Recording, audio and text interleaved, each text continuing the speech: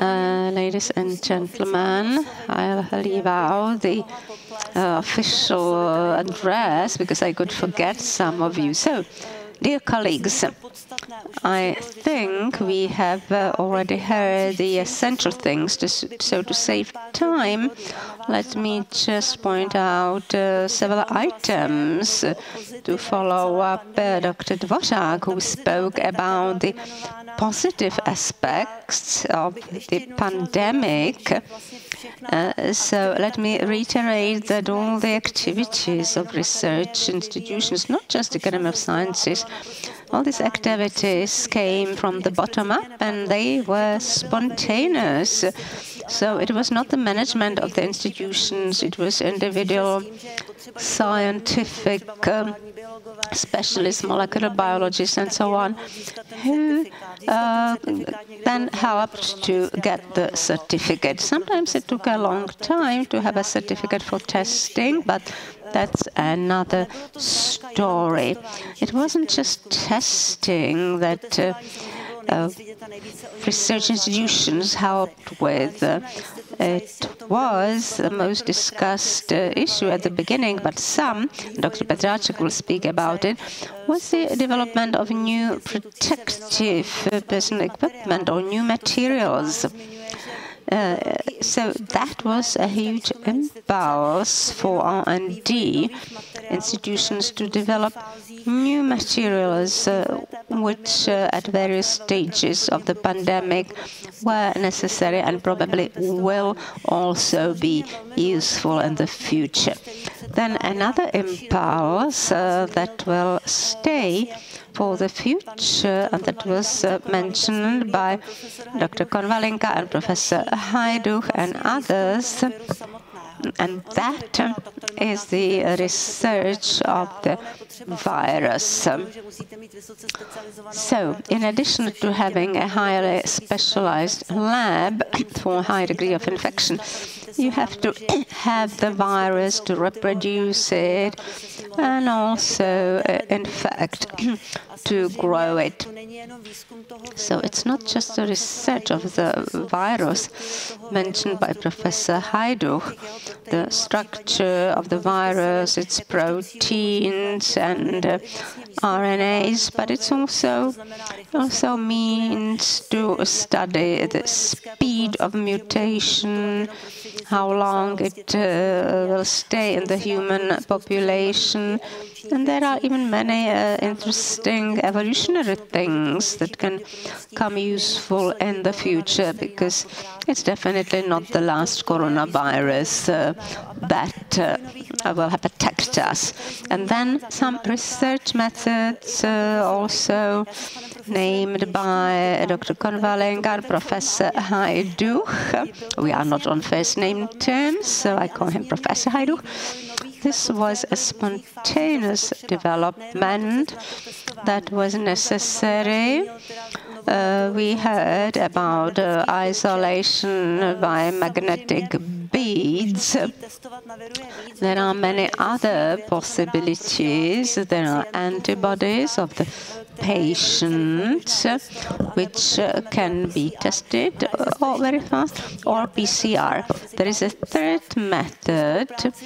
We are working on it together with the Taiwan Academy, uh, and it's a test uh, that uh, at our physical institute, uh, there is a chip. A mononuclear antibody can be bind to it, not of the patient, but against uh, a protein of the virus, S protein, the spike protein, which is on the tips uh, of the spikes of the virus. So it's now being tested, and I can uh, say no more about it now, but it has the advantages of the methods. It detects the virus or the uh, RNA, and it's very fast because it's based on antibodies.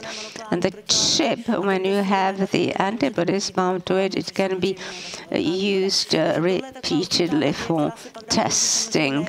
So that means that not it can be used not only for SARS-CoV-2, can be also used for uh, salmonella, for example. Uh, another thing which is being developed at the moment, which might be interesting for you, is the improvement of uh, the uh, PCR testing method, but a method which can be calibrated and which is quantifiable. The present um, methods are not quantifiable. Uh, so you have the acid and then you detect it the method developed, then the Biophysical Institute uh, can be calibrated. When you take samples, you can learn all about the dynamics. Uh, and Professor Hajdúch will confirm it in the samples. You have different levels of RNA, and it does not only depend on the swab. So these are things which regard uh, the new trends uh, provoked really by the epidemic. I have also mentioned collaboration, and let me also stress what I did at the press conference the pandemic has demonstrated what a complex matter this is. It's not just medical. It affects the entire world and all the spheres of life social contacts which affect the spread of the virus. Uh, then, of course, economy. Dr. Jurajda will speak about it. And uh, other things, such as some legal standards our colleagues have prepared a kind of cookbook uh, for clinicians. If they had to choose, there are five respirators, but 10 people who need them. The key how to choose them, that it's really fair and just, uh, and also to avoid legal problems uh, of a clinician.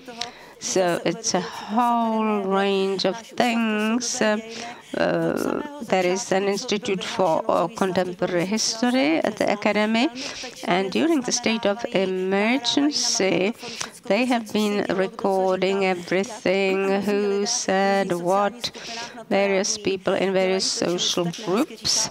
So they are working on the oral history.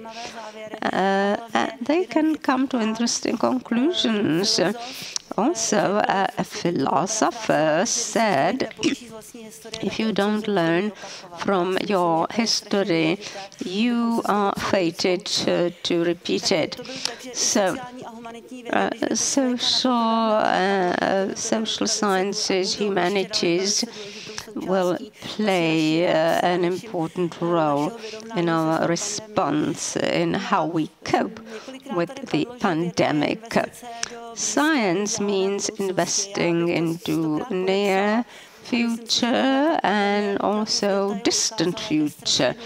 The pandemic has shown that our country has a relatively developed scientific infrastructure now, I don't mean specific infrastructures, but uh, throughout the country. Dr. Konvalinka summed it up very nicely. This is of key inform importance so that the country can defend itself against viral bacterial pandemic, or it can be related to some disasters, tsunami or volcano eruption. So this scientific infrastructure is of key importance, and scientists do wish to fulfill its mission, as we could see.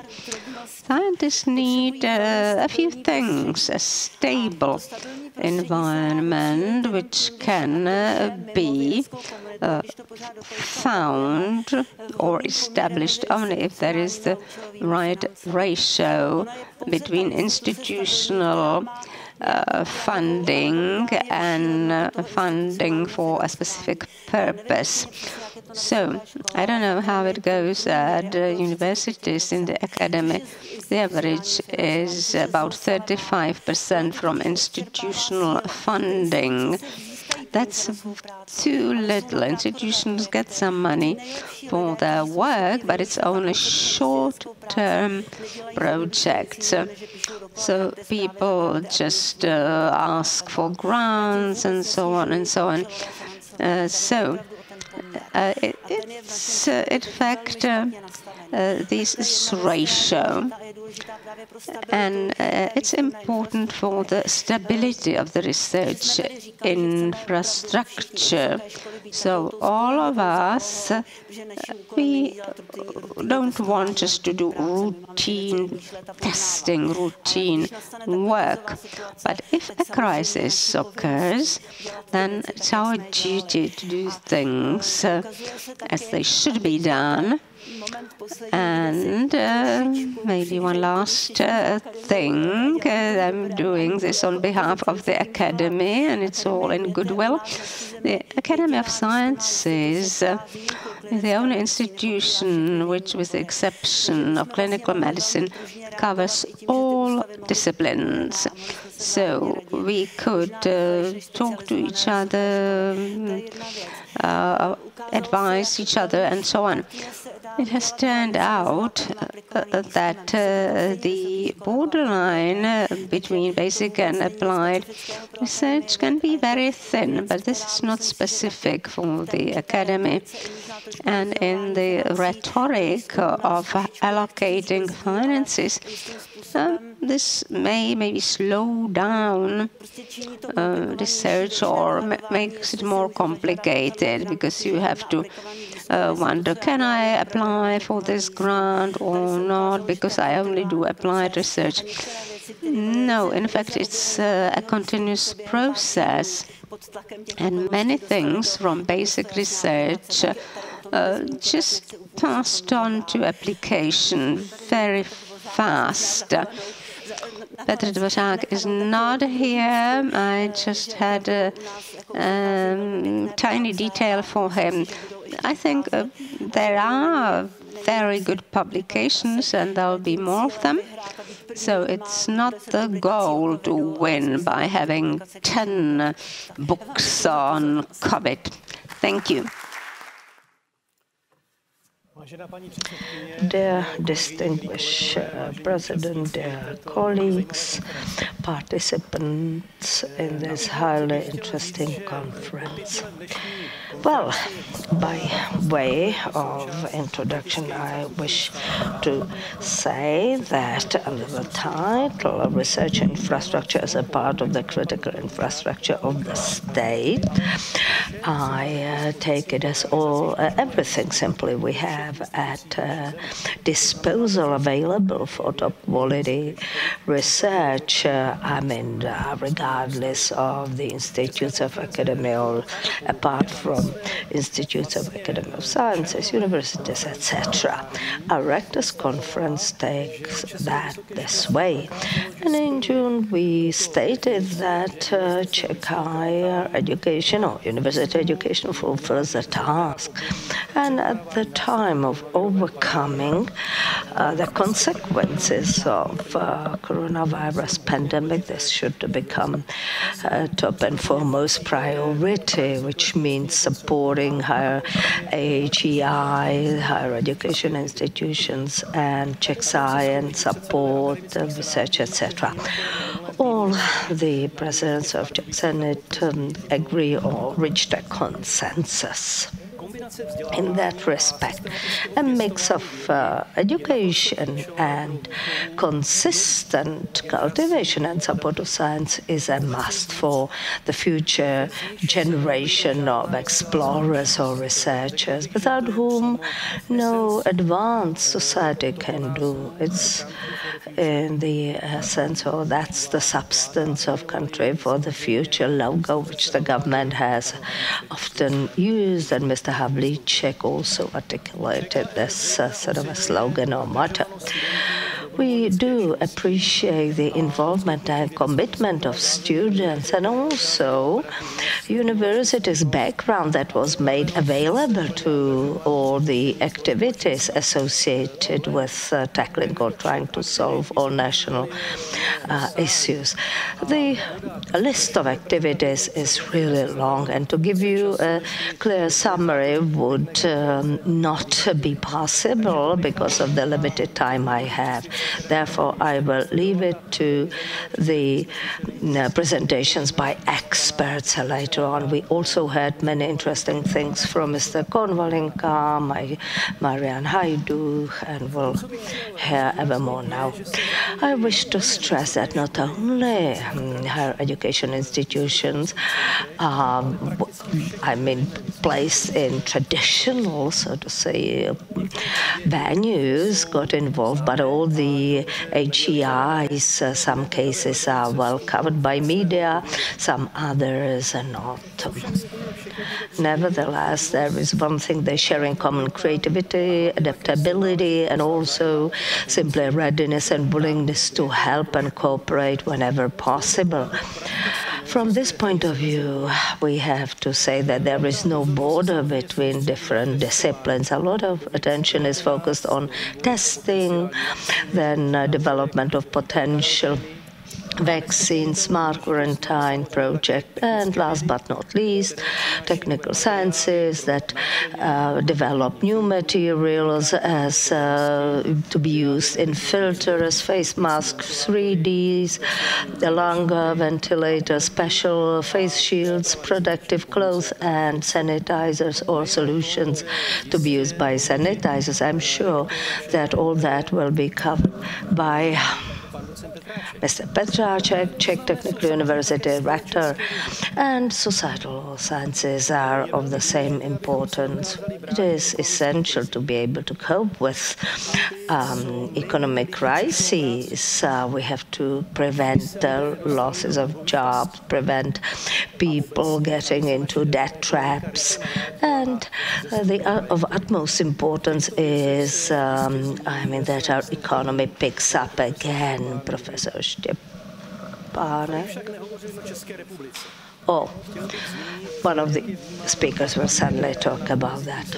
Now, uh, impact on pandemic in the world. In the Nature Journal, uh, there were references to empty auditoriums and issues associated with distance education that will, in the long run, result in a drop in foreign students studying here, which again may have a negative impact on the available resources of funds for education.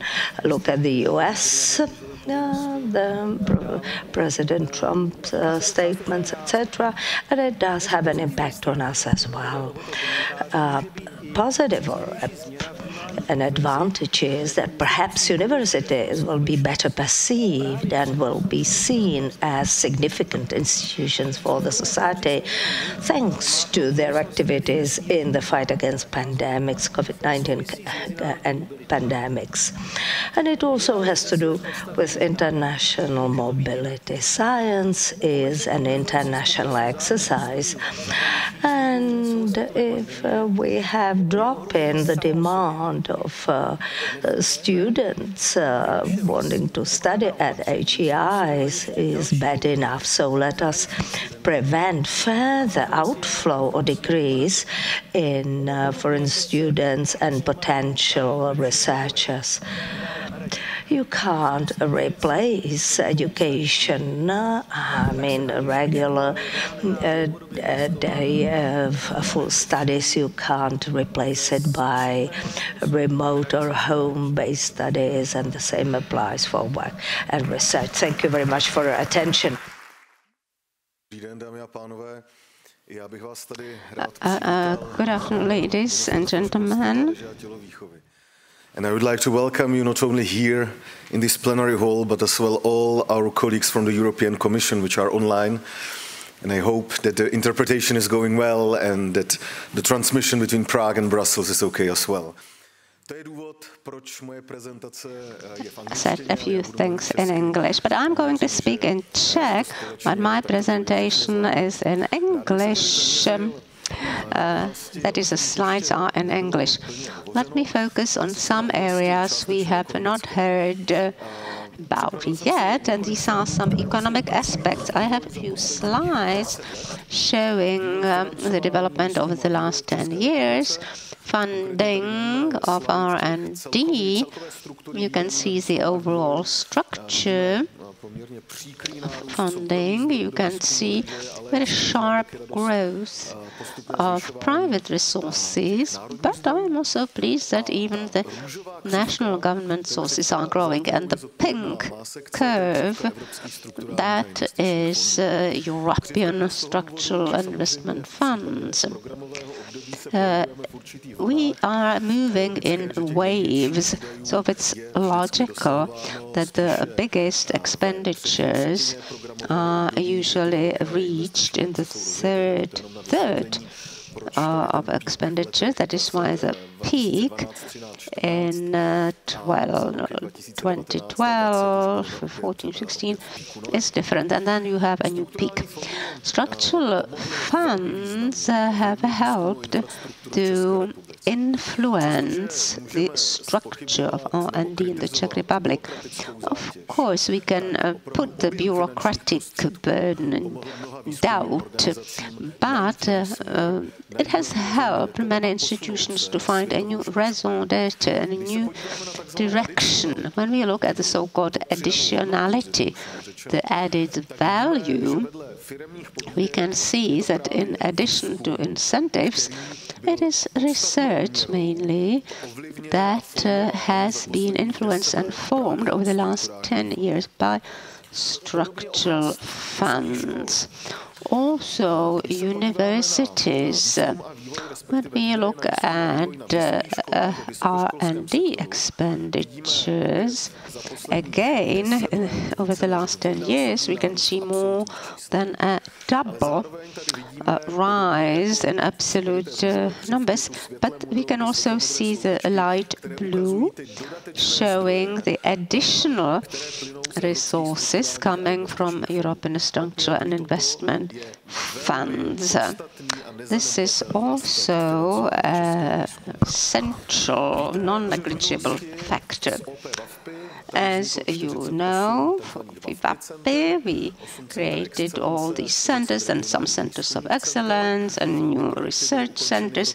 The projects have then ended in 2015.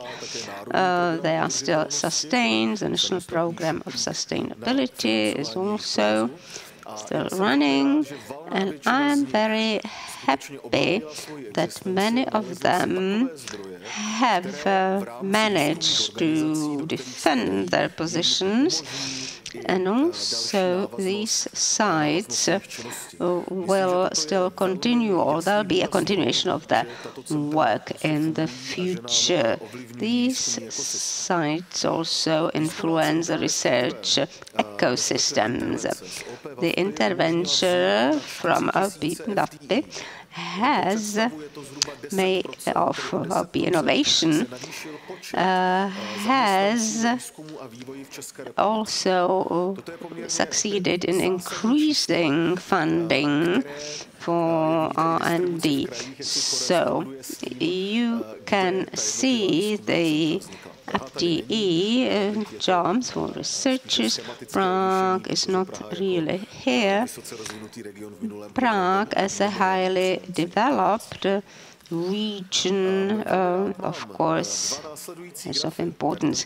Here are some other uh, graphs or charts, so you can see how the outputs of research have improved. There are published articles, the blue line, patents, the purple one, or uh, industrial and utility designs. So you can see the, the added value for institutions if they are carriers of infrastructure finance of, from European uh, funds. Then the Horizon 2020 uh, in, uh, in fact, framework programs the success rate of those who have used European funds is almost four times uh, bigger. It may not be causality or correlation, but uh, it is a phenomenon that can be observed. In uh, the current program period coming to an end uh, now, then in R&D we have supported uh, over 500 projects uh, without building new centers of excellence. But we focus on uh, the development, uh, on uh, excellent work, and also human resources, and the support of large uh, infrastructures. Um, the president has also mentioned mobility. And I am happy that we could also uh, we could also help with R&D, OP RDE. As you can see the figures, uh, or the numbers of persons, and you can see the mobilities as they are uh, divided into countries. Germany ranks first, uh, then the United States, and Austria, and Great Britain. So, of course, Brexit, we are sure, may uh, affect incoming and outgoing mobility. Uh, I would also like uh, to give some thanks. Uh, the European projects uh, have helped in combating coronavirus.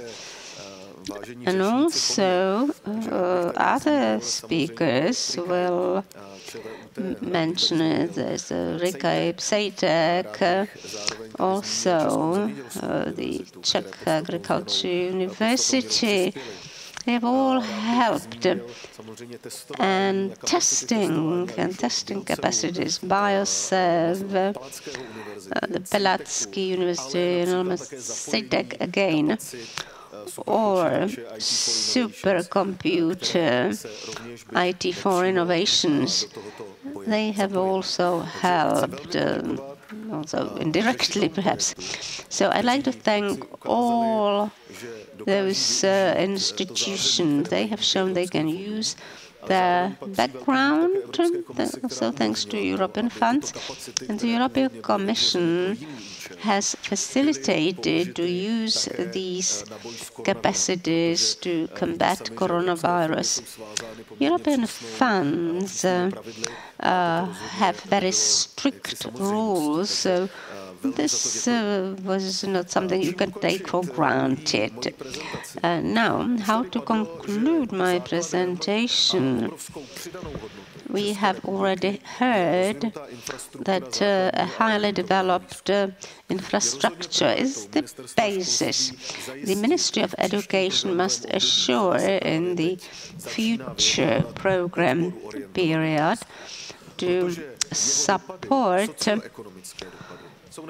uh, to support the infrastructure. Uh, the impact may be different than in uh, in applied research as for basic research, but still it's um, standard, flexible. What we have built from uh, Czech or European money will help us to face future threats uh, we may not avoid. Without the infrastructure, the situation might be much worse.